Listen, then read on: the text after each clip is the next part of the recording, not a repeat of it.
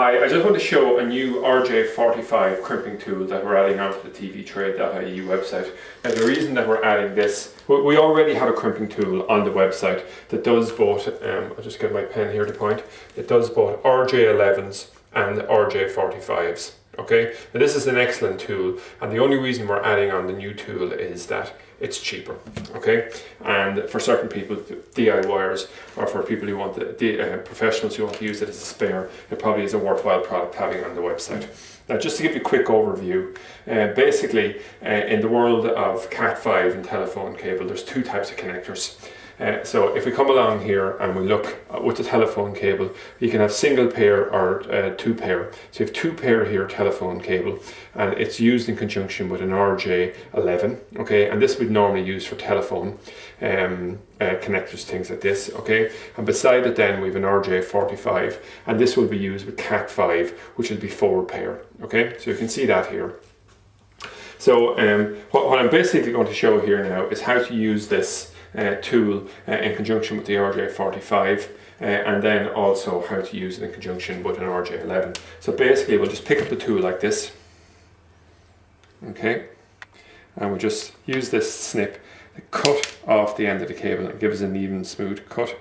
And then we just push the cable through here, like this, and there's a stopper on the far end, which you can see here, which just gives us exactly the right length of cable.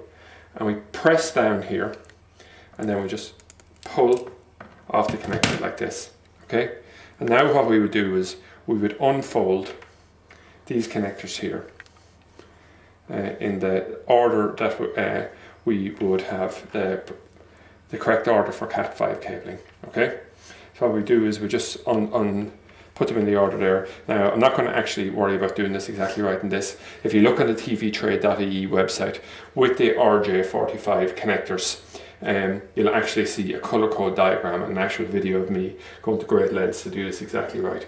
But basically, if we came along here and we slid this cable in here like this, the eight wires would match up in exact color codes. There is a standard for RJ45 which has to be followed. And what we do here, we come along and with this crimping tool, it's ideally designed for the RJ45. We simply slide it in like this till it's uh, it's firmly, firmly home like that.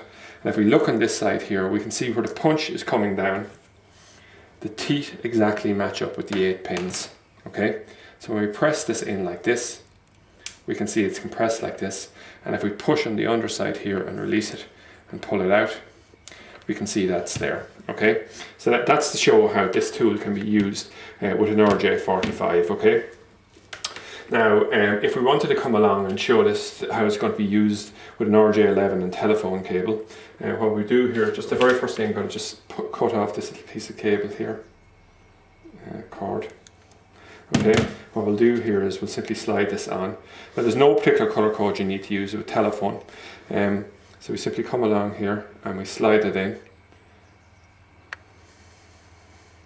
Like this.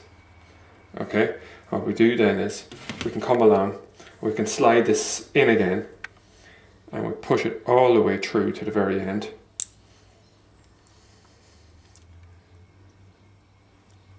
And we can crimp it down like this and lock it into position, okay? And once we've crimped it fully like that.